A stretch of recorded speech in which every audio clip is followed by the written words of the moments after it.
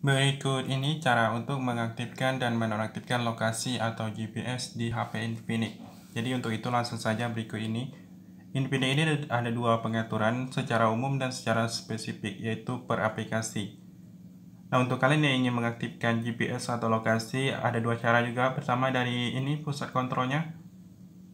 Kalian cari saja yang namanya lokasi atau GPS.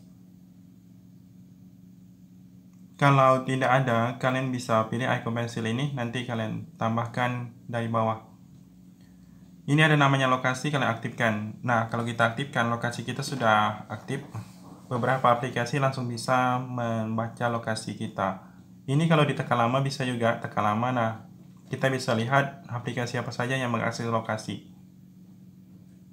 Kalau kalian ingin mematikan, dari sini juga kalian ketuk, nah itu sudah mati atau dari pengaturan juga bisa di sini ada yang namanya pengaturan lokasi. Kalian bisa ketik lokasi di sini. Nah yang ini.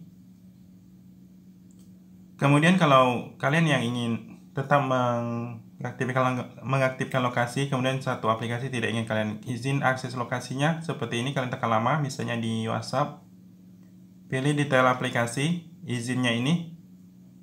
Nah, izin lokasinya itu misalnya seperti ini, ada izin lokasi, nah kalian pilih jangan izinkan. Jadi aplikasi WhatsApp dikecualikan untuk membaca lokasi. Sementara yang ini tetap aktif. Itu saja silakan dicoba mau kalian aktifkan atau kalian matikan di sini. Semoga bermanfaat.